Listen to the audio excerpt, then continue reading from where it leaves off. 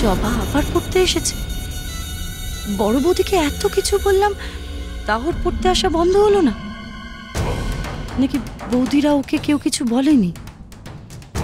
মাকে গিয়ে তো ব্যাপারটা বলতে হচ্ছে।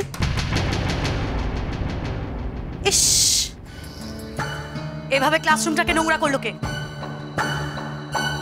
কি হলো? তোমরা চুপ করে আছো কেন? উত্তর দাও।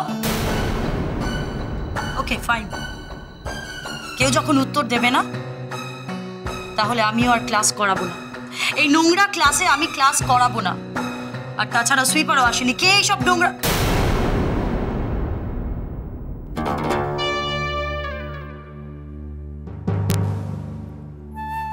চপা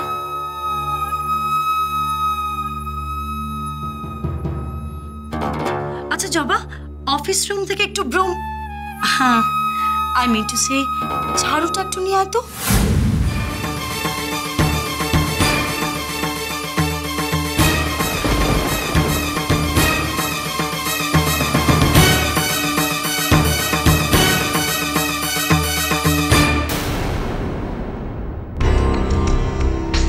তোমরা সবাই মুখের দিকে তাকিয়ে আছো কেন?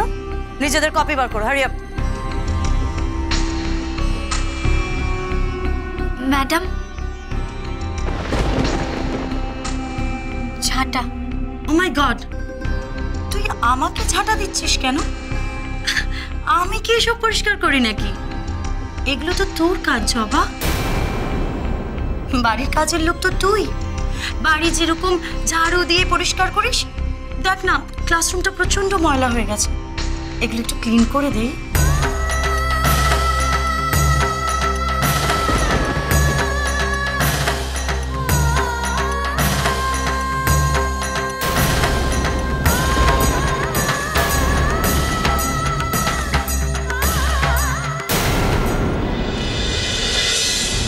হয়েছে রে? এত চিন্তা করছিস কেন? কি হয়েছে? আর বলো না দিদি। দেখো না ওই মাকে বলছিলাম সামনে আমার তিন্নি তান্নাটার পরীক্ষা। কিন্তু বাড়িতে এমন কোনো ঘর ফাঁকা নেই যেখানে ওদেরকে একটু ভালো করে পড়াতে পারি আর কি।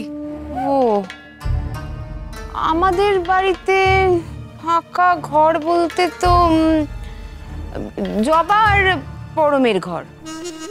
তুই এক কাজ কর না তুই জিজ্ঞেস করে নে না একবার জবাকে। ওর যদি আপত্তি না থাকে বাচ্চাগুলোকে তো পড়াবি। ওদের ঘরে গিয়েই না হয় পড়তে বসাবি হুম?